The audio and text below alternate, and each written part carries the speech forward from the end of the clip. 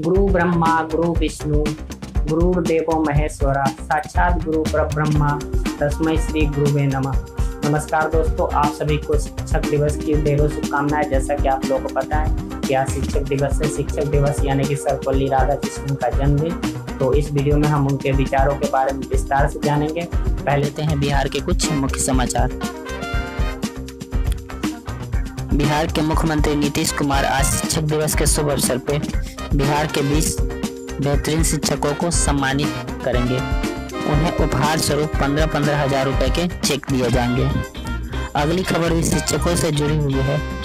बिहार सरकार के शिक्षा विभाग ने सभी शिक्षकों को ये आदेश दिया है कि वो आज शिक्षक दिवस के अवसर पे स्कूल में उपस्थित रहेंगे।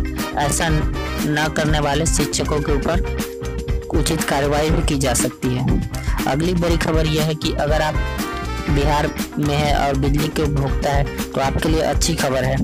अब आप अपने बिजली बिल की बकाया राशि एक मिस कॉल पर जान सकते हैं। इसके लिए आपको एक नंबर पर मिस कॉल करना पड़ेगा। वो आपके स्क्रीन पे आ गया होगा। नंबर है seven triple six double zero double eight double three. आप एक बार दोबारा नंबर नोट कर लीजिए। सात छः छः छः सात के बाद तीन बार छः, उसके बाद दो बार शून्य, उसके बाद दो बार आठ और दो बार तीन। इस नंबर पर कॉल करके आप अपने बकाया बिजली बिल की राशि जान सकते हैं। बिहार सरकार सीएनजी को बढ़ावा देने जा रही है, ताकि प्रदूषण के ऊपर नियंत्रण किया जाए। इसको लेकर बिहार के जो परिवहन मंत्री है और मुख्यमंत्री ने एक बेहतरीन फैसला किया है, वो दोनों स्वयं इलेक्ट्रॉनिक कारों से चला करेंगे।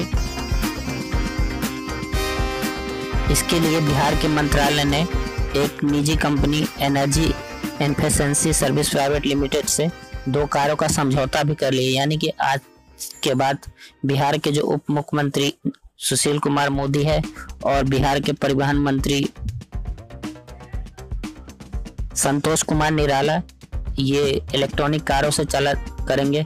यानी कि इन्होंने ये करके दिखाया है कि अगर आप कोई कानून लेके आते हैं, अगर आप लोगों को कहते हैं कि आप सीएनजी या इलेक्ट्रॉनिक कारों का इस्तेमाल कीजिए पेट्रोल या डीजल के बजाय तो आपको स्वयं भी करके दिखाना पड़ता है। इससे पहले भी ये खबर आई थी कि बिहार के मुख्यमंत्री नीतीश कुमार भी इलेक्ट्रॉनिक कार ले लिया था। तो काफ़ी अच्छी खबर है। अब हम जान लेते हैं सर पल्ली राधा कृष्णन के विचार के बारे में। सर्वपल्ली राधा कृष्णन का जन्म आज ही के दिन, यानी कि 5 सितंबर अठारह सौ अट्ठासी को तमिलनाडु में हुआ था। सर्वपल्ली राधा कृष्णन के पिता एक मंदिर के पुजारी थे और वो चाहते थे कि उनका पुत्र, यानी कि सर्वपल्ली राधा कृष्णन भी पुजारी ही बने, लेकिन उन्होंने ऐसा नहीं सोचा। वो के सोचे, उन्होंने काफ़ी उच्च शिक्षा प्राप्त किया और उन्होंने शिक्षा के दम पे भारत का सर्वोच्च सम्मान, भारत के प्रथम उपराष्ट्रपति बने और भारत का सर्वोच्च सम्मान भारत रत्न भी जीता।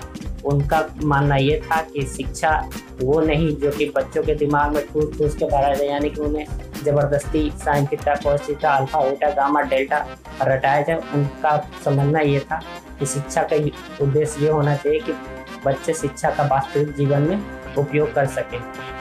तो आज का वीडियो हमारा कैसा लगा, ये आप हमें वीडियो के अंदर कमेंट करके बताइएगा। अगर वीडियो अच्छा लग रहा हो तो लाइक और शेयर कर लीजिएगा।